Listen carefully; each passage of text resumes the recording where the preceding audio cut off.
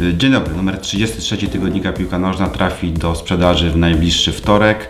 Przemysław Pawlak, e, zapraszam na krótki przewodnik po tym, co dla Was y, przygotowaliśmy. Wróciła Premier League, więc do gry wrócił również Łukasz Fabiański. Przy takiej okazji nie mogło zabraknąć wywiadu z bramkarzem reprezentacji Polski. Łukasz opowiada o oczekiwaniach odnośnie do nowego sezonu angielskiej Ekstraklasy. Nie mogło również zabraknąć tematu jesiennej części eliminacji Mistrzostw Europy. Przecież za niespełna miesiąc zespół Jerzego Brzęczka powróci na kwalifikacyjny szlak. Z Fabianem rozmawiał Zbyszek Mucha, a materiał sygnujemy doskonałą okładką, którą przygotował Tomasz Bększ. Premier League zdążyła już wrócić do gry, natomiast w tym tygodniu premierowe mecze Bundesligi oraz La Liga. Sytuacji w Niemczech przygląda się Tomasz Urban, z kolei sytuacji w Hiszpanii Leszek Orłowski, czyli wzięci fachowcy w swoich dziedzinach. Nowym obrońcą Manchesteru City został João Cancelo. Gdyby brać pod uwagę tylko walory ofensywne, Portugalczyk uchodziłby za najlepszego prawego obrońcę świata, ale we Włoszech wyłącznie walory ofensywne u obrońcy nie przejdą. Dlatego Juventus rozstał się z Cancelo bez większego żalu. O szczegółach pisze Tomek Lipiński.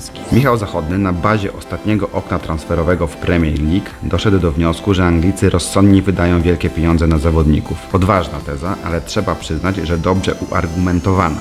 W jaki sposób? Przeczytajcie. Mickey van der Hart to nowy bramkarz Lecha Poznań. Postać to bez wątpienia nietuzinkowa, o czym można przekonać się czytając wywiad Konrada Witkowskiego. Z kolei Paweł Gołaszewski sprawdził jak wygląda codzienność sędziów z najniższych lig. Może nie zawsze jest kolorowo, ale przynajmniej jest wesoło. Materiał Pawła wypełniony jest anegdotami. Jak zwykle zapraszam również na felietony Ryszarda Niemca i Romana Kołtonia.